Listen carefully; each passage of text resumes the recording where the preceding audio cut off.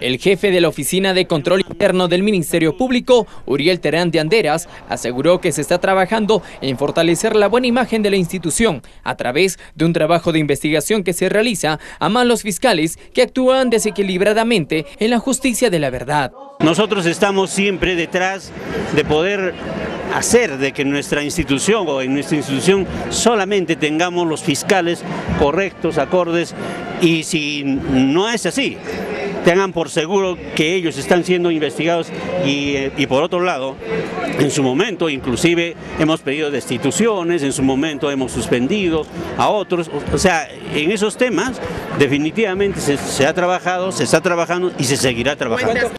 Así también manifestó que hasta la fecha se están desarrollando 150 investigaciones por quejas y denuncias debido a la gran carga procesal que registra el Ministerio Público, esperando que para finales de este año solo se tenga un crecimiento de un 10%.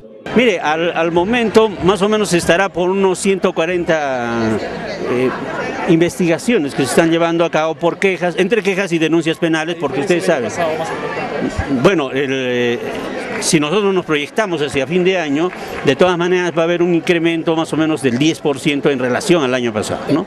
El representante de Control Interno precisó que los casos investigados no son muy relevantes a comparación de otros años, donde sí ocurrieron actos negativos contra la institución. Del mismo modo, aseguró que las disposiciones de sanción contra los malos fiscales se están dando respectivamente. Nosotros desde Control Interno, por ejemplo, cuando vemos de que no hay una buena investigación, se investiga, se abre proceso disciplinario y se sanciona. ¿Cuántos casos se han sancionado?